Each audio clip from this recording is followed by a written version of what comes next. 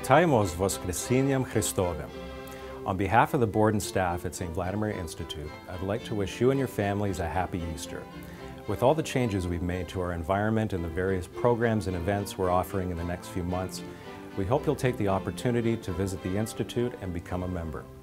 We'd also like all our members and friends to recommend our post-secondary residence at St. Vladimir Institute to any students who may be planning to take courses at the University of Toronto or any other Toronto schools. Christ is risen, wishing you a joyous Easter celebration.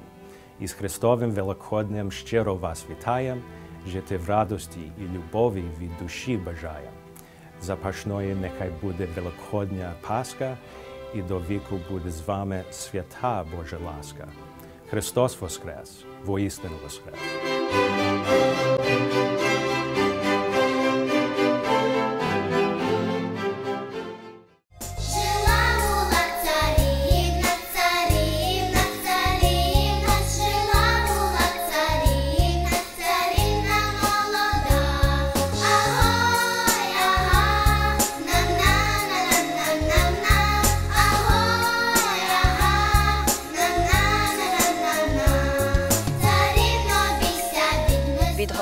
Голови братства в Києві, доктора Олександра Сагана, почуємо про можливості створення помісної української православної церкви. Дорогі глядачі, вітаємо на контакті сьогодні е, професора Олександра Сагана і порозмовимо на тему помісної української церкви.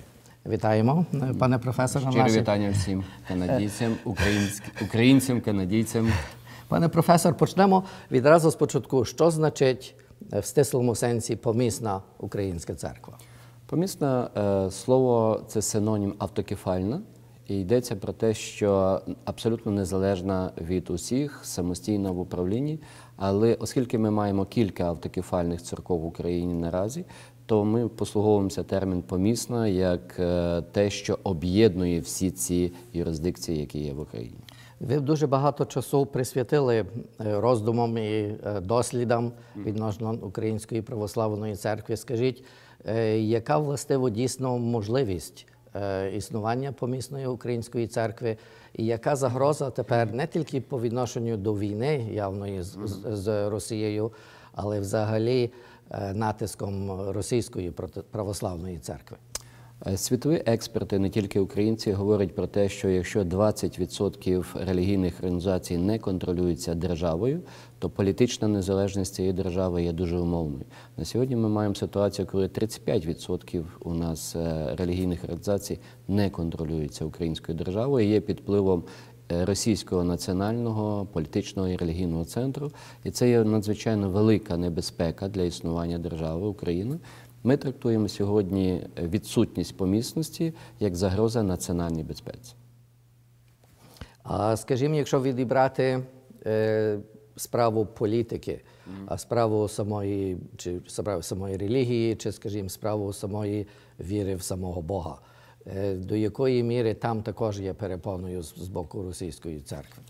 Е, Російська церква ніколи не погодиться на те, щоб е, українська відійшла від неї. Чому? Тому що вона втратить е, понад 50% своїх громад, і це для неї великий удар, такий юридичний. На сьогодні Україна, українське православ'я має всі канонічні і організаційні підстави для того, щоб мати свою помісність.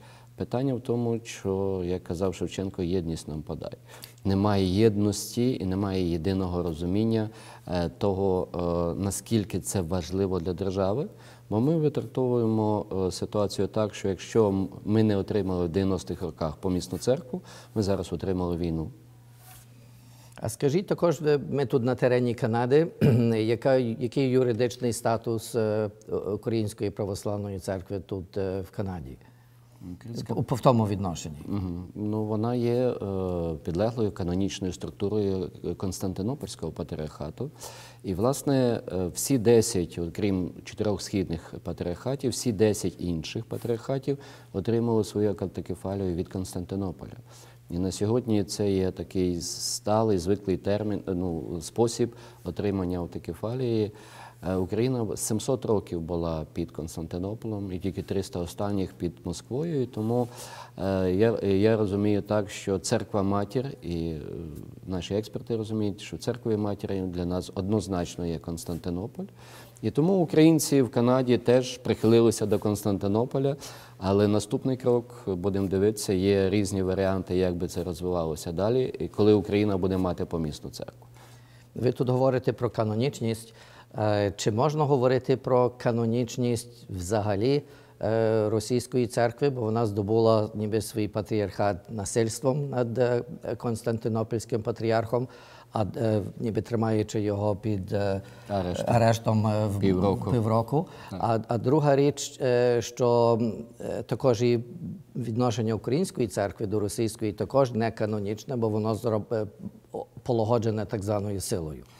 Е, Так, е, по-перше, ну на сьогодні вже традиційно так уклалося, що не ставиться під сумнів канонічність московського православ'я, хоча 141 рік вони не були визнані в світовому православ'ї і дійсно отримали цей свій перший томос саме під е, загрозою життя Константинопольського патріарха. Але е, сьогодні в Україні ми є прихильники того е, варіанту, який витрактовує Варфоломей. Е, Константинопольський патріархат, а саме вже йдеться про те, що е, Україна не є канонічною територією Московського патріархату, тому що Константинополь чітко заявив уже не один раз про те, що е, Київська митрополія передана Москві в користування, а не в володіння. Це перший момент. І по-друге, Константинополь визнає Москву на момент визнання 1589 року, коли Київська митрополія не входила в склад Москви. І тому на сьогодні перше, що е, Україна, е, теза, е, що Україна не є канонічною територією Московської патріархії. І друге, висновком з цього є, що Константинополь є той, тою, ну скажімо, церквою матір'ю або тою митрополією, яка окормляє Україну. Ну, так як ви говорите, то виявляється, що немає ніяких проблем. Але тим часом е, Росія далі впливає на патріарха Бартоломея і, і взагалі Росія впливає на патріархат. Е, Це не скільки проблема того, що Росія впливає на Константинополь, а скільки проблема, що Росія тримає під контролем 35% е, релігійних громад в Україні, і понад, якщо брати православних, то це є понад 50%. І проблема в тому, що якраз в, цих, е, в цій е, основі є проблема, тому що українці тримаються за московський патріархат. Ми маємо два роки війни, і ми маємо всього 100 громад, які би заявили своє бажання вийти, але вийшли ще менше, вийшли біля двох десятків, тому що то є юридична така складна процедура. І чому так мало людей е, не виходить, це є велике питання. Попри те, що соціологія, от на е, осінь минулого року, соціологія дала, що 42% населення України підтримують е, Київський патріархат. Але ми не, не, не бачимо це в, в ну, це не трансформується в переходи. Розумієте?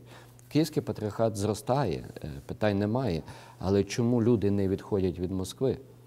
Е, Вони е, знаходяться під жорстким контролем ідеологічним і національним Москви. І відірвати їх від Москви наше завдання. І завдання нашого братства, яке я очолюю, це Київське Богоявленське Ставропігійне братство.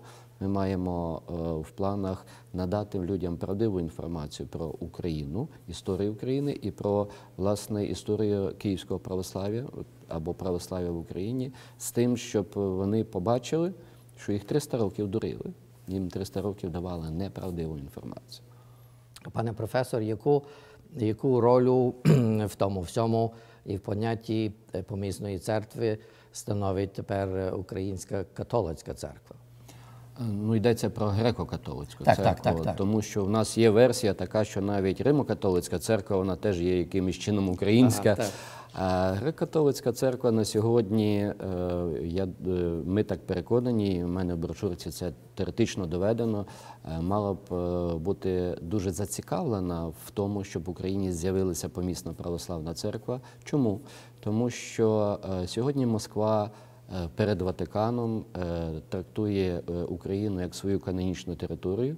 І, власне, питання е, про статус е, греко-католицької церкви в Україні, а йдеться, що ще з 60-х років вони добиваються статусу патріархії.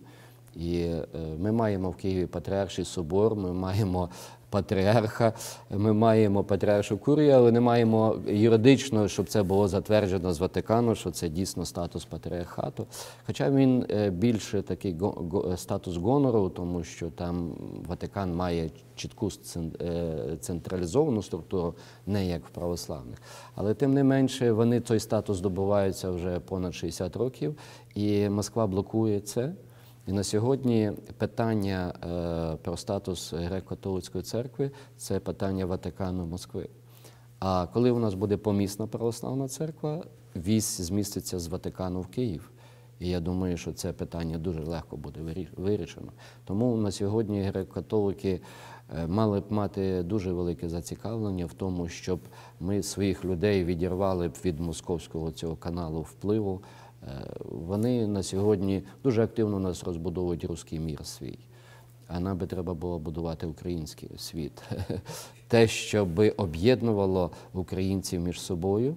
І я думаю, після того і значно покращилися б і відносини православних і католиків, і греко-католиків.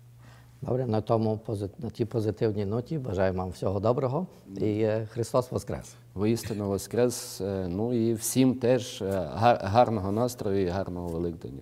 Так. It is with great pleasure that I take this moment during this wonderful celebration to wish everyone in the Ukrainian community a very happy Easter. As you and your family gather together to celebrate and share in this festive holiday, I hope that your celebrations are filled with the season's spirit of hope and love. On behalf of my family to yours, I'd like to wish everybody a very happy Easter. Thank you.